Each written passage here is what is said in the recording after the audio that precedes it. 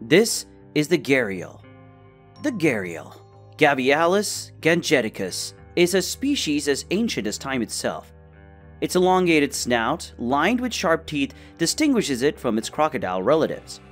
At first glance, it appears fragile, almost delicate.